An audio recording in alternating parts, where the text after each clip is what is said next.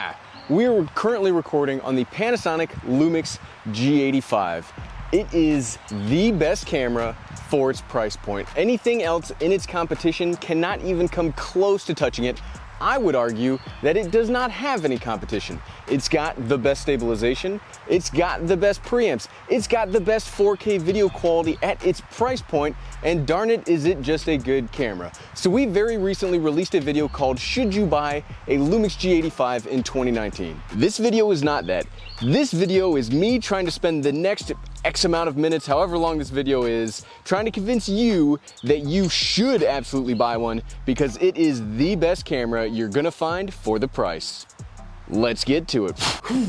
What's up everyone? I'm the Everyday Dad and if I can figure it out, you can figure it out. So we're finally here. It's been a minute since I've been so enthusiastically behind a Panasonic Lumix camera that I dedicated a whole video on why you should buy it. The last one being the GH5, which oh yeah, so, so good. Well, it's the G85's turn as I've owned this camera for a few months now and it's been used, like I said, in almost every single video you've seen of mine in the time frame, whether you knew it or not. I'm sneaky. So let's get into the part of the video where we go point by point and I try to use my magical power of persuasion to convince you why if you are on a budget, this is the camera for you. And you know what? Let's pop the G85 on the tripod so we can spend the rest of the video actually seeing and hearing what it can do. Look at that.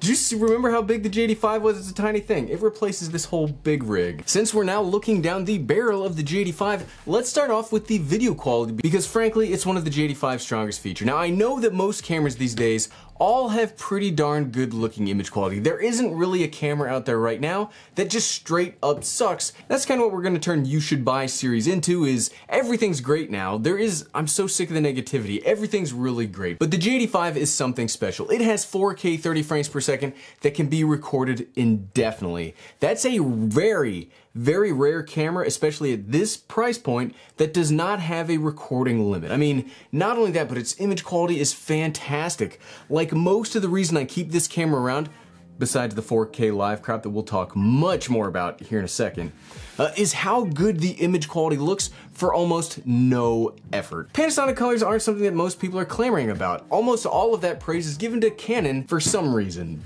I don't know. But I think the images are nice and vibrant with plenty of customization in the camera itself if you want it and it just looks darn good. Like right now, all the image you're seeing is straight out of the camera with the Cinelike V profile. I've got the lighting set up and that's pretty much it. That's all you need. Combine that with some fantastic preamps in a consumer camera and this is the total package. There are only two big weaknesses of the GD5, and they really aren't that bad considering the price but just for clarity's sake and making sure that I'm not like telling any fibs here, there are two negatives in my opinion. That's the sensor size and the autofocus. Panasonic has terrible continuous autofocus, and the older the camera gets, the worse it gets. I mean, I'm, that's not up for debate. That Sorry, that's just a statement of fact. It's unusable. The other weakness is the sensor itself, and the new G95 will come equipped with the newer 20 megapixel sensor, like the one found in the G9, which should be able to do great things. I can't wait to get my hand on one of those suckers. Uh, but sometimes I do find the 16 megapixels in the G8 85 lacking.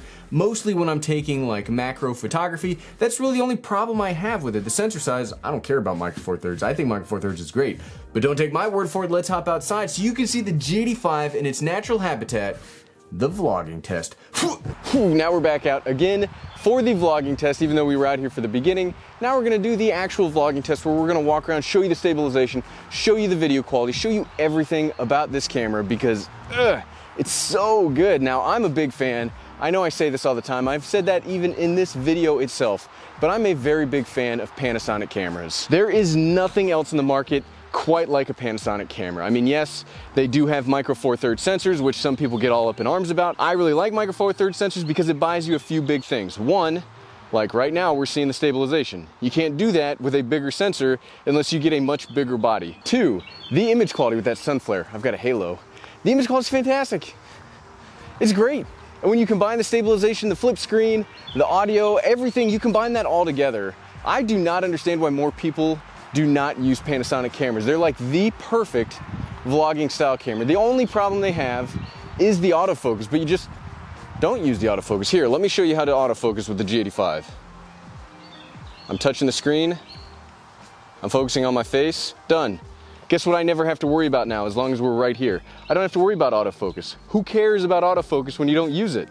Oh, it's so good. I just love half the reason I make these you should buy videos is just because I love a lot of the technology we've got out right now. And I find that there's so much negativity online about, oh, Panasonic Tiny Micro Four Thirds, Sony garbage colors, Canon crippling everything, Nikon what? It's just, there's so much negativity out there. I really want these videos to be positive because everything out there is great. There's no real, there's not really a bad camera out there today. Like the technology today is fantastic. That's what this You Should Buy series of videos is about and we have totally gone off track, but it's important. I want you to know that. Okay, you've been able to see the vlogging. It's amazing. This camera is so good. Let's go back to talking about how good this camera is. See you in a second. Ooh. Next up might be the most important aspect, the price, because frankly, none of us are made of money, despite what it may look like from the line of cameras constantly parading around my house. I promise not made of money here. The Lumix G85 can be had brand new for $700 with a kit lens. Now that definitely sounds like a lot, but if you spend any time around cameras, you know that that's just a drop in the bucket compared to some of the other cameras we've compared here recently. Instead of buying new, however, you could do like I did and buy the same thing used for about 500 bucks, which takes a good deal and makes it a, a phenomenal deal. Why aren't you doing this yet? You should hound the B&H website until another used one pops up deal. Like for $500, there is nothing else that offers what a used G85 can. The G7 is missing the stabilization, doesn't play well with monitors, and doesn't have the 4K live crop. Oh, don't you worry. It's I promise we're talking about it. The Canon M50 is missing the stabilization, the high quality 4K, and Canon's never ever even heard of 4K live cropping. Their version of 4K live cropping is cropping their 4K images 1.6 to 1.7 times and then taking their autofocus away.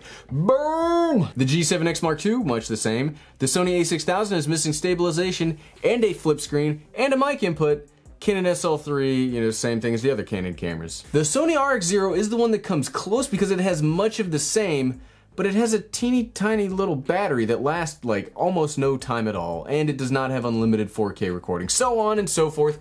There are a lot of cameras in this price range, not a single one of them can touch the G85. Not only can the camera itself be had for fantastic deals, but the kit lens is actually pretty good too. The 12 to 63.5 to 5.6 might not be the fastest lens in the world, but you can see right now that it works pretty well in low light and comes equipped with Panasonic's dual IS technology like we saw in the vlogging test. I mean, that turns this camera into a vlogger's dream. It Panasonic cameras, why are you not like the only thing that people talk about for vlogging? But the lens ecosystem as a whole can have some real gems hidden inside of it for very reasonable prices. And case in point is this little fella. This is the Lumix 25mm 1.7, which is a 50mm equivalent lens, which can be had for about $100 or so used again. For 600 bucks, you could have a legitimate entire video production camera system with both a 24 to 120 equivalent zoom and a 50 millimeter fast prime for some shallow depth of field work. Like, come on. Come on. Now let's talk about that absolute, my absolute favorite feature and single-handedly the reason I got the GH5 to begin with those that watch the GH5 video know what's coming, and I've only mentioned it like three or four times now in the video. That's the 4K live crop. This feature will change your life if you make any kind of YouTube product video. It is hands down the single most useful feature any camera could ever have, ever, period. Autofocus, not important. Stabilization, not important. 4K live cropping. Basically what it does is it sets the camera to 4K output and lets you choose between two 1080p boxes of various sizes inside of that 4K output. And then when you hit record, the camera will then pan, tilt, or zoom for you. It will do that all for you without ever moving the camera. This single feature has no kidding, no kidding without a single shred of hyperbole, or I'm not exaggerating here, it's changed everything about how I record my YouTube videos. You absolutely could just record a 4K clip and then do the same thing in your editing software with keyframing, but that's a pain in the butt. This is way easier, and as it's capturing in progress, you can still move the camera or add different lighting effects, or you could do this to moving objects. It's not just a stable image that you're cropping across. It's actually like the camera cropping while life or your video is happening. It's this is a feature that's so useful. It sells the darn camera by itself. I mean, the the biggest negative of the Panasonic S1, their full frame camera in my opinion, is that it doesn't have 4K live cropping. That would make that camera the almost perfect camera. I feel so strongly about these things that we're at 1300 words now and I've only talked about three darn aspects of this camera. What, what even is this camera for 500 bucks? Okay, okay, really quickly before this video gets even more out of hand. I just, I like the G85. You might not have noticed, but it's got a fully articulating touchscreen, which, like mentioned in the vlogging test, makes the autofocus not even matter. I guess if you're gonna have terrible autofocus, at least make a way that it just straight up doesn't matter, because you can do all of the focusing in front of the camera and never need to worry about hunting autofocus again. It's also got access to the OG Panasonic camera app that's right up there with 4K live crop for how useful it is. This app gives you full control over the camera with your phone or iPad and lets you change everything without even needing to be near the camera. Physically, the camera is also amazing. It has a full assortment of physical dials and buttons with two separate mode dial buttons and one of my favorite camera user interfaces around with full touch functionality to sort and change those settings and use that interface. And a nice little touch, the SD card slot is on the side instead of on the bottom for much quicker and easier removal, and changing. Whew. Whew. Bringing it back to the beginning, if you are looking for a budget camera, this is one that you should absolutely be considering. Autofocus is an overrated feature because no matter the brand, it will fail from time to time. If you can figure out how to tap to focus either through the G85 screen or from the app, you'll never need to worry about that again. And at the same time, you have access to awesome stabilization, lenses, 4K, so much more. So yes, you should absolutely go buy a Lumix G85. Thanks for watching.